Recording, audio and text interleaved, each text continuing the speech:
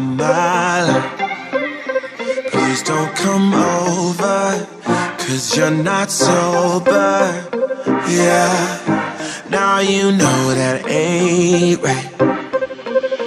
If your dude knew you was coming over, that would be a problem. Yeah. If our friends knew undercover loving, they would try to solve it, solve it, yeah.